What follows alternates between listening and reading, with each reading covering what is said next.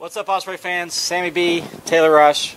Just want to make this video today to give y'all an update on what's going on here at the ballpark and really just to thank y'all for all the support and kind Seriously, words. thank you guys so it's, much. It's been absolutely uplifting.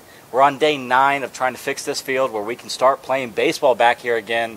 And just your support has, has made every single day easier and easier.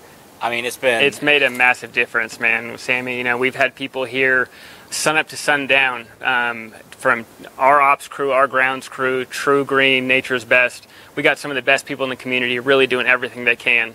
Um, we're at a spot now where we're incredibly confident. Tuesday, August 27th, we're going to be home. We're going to be playing baseball here, and we can't wait to see you guys out at the ballpark and supporting all these people that came together to make this happen. We just want to take a moment to thank each and every single one of you for the texts, the tweets, the Facebook comments. Every single one. Every single one. Uh, we're going to highlight a few of our favorites.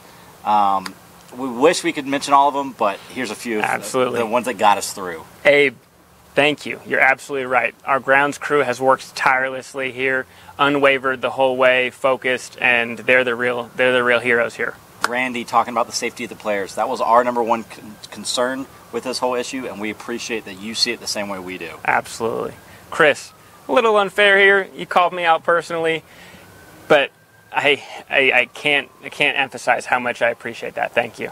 Ben, thanking the staff and the crew, even in the hard times, we appreciate it. Trust me, all the staff have seen every single one of these comments, including yours, Ben, and it, it helps us get through every single day. No question. And lastly, Sean, one of our favorite season ticket holders here.